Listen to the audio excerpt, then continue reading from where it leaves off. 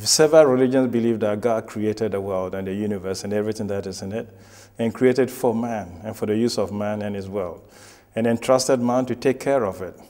So out of, you know, out of this belief that you know, a lot of religions share about relationship between human person, God, and creation, man is always you know, seen to be a steward of creation sustainability of our environment, sustainability of our world, and its ability to support life forms in the future.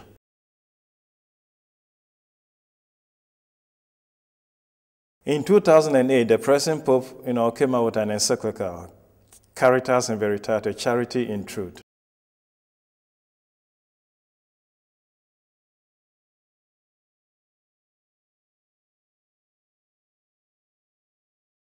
The NSECA set out actually to do a kind of an anniversary uh, celebration of the two previous encyclicals on human development, okay, integral human development. Two forms of solidarities that he calls for in this encyclical is solidarity with other people whose, other people whose lives depend on the earth, okay, and then solidarity also with the future generation. John Paul II was also very strong about this.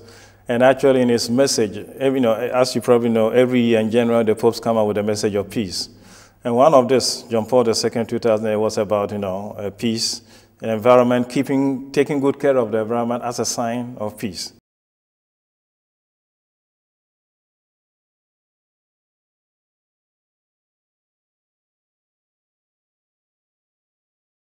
There is a very popular imagery of the world taken from space at night.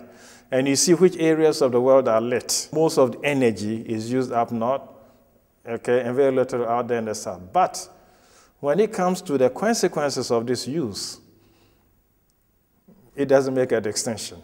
The whole world suffers from the consequence of, you know, of the different forms of energy use and all of that, whether it's fossil, the way it changes the atmosphere, the climate.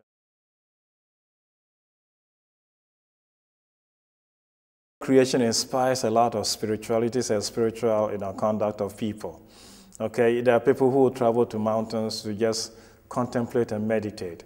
Some will stay by the seashore and look at the wide expanse of the ocean and you know be filled with the awesomeness. And we need now to think about or consider human beings with the activity making, leaving a footprint huh, on our universe and its system and all that. So there are very many other dimensions and sides of this which are developing, and I suppose. Uh, We'll, talk about those later.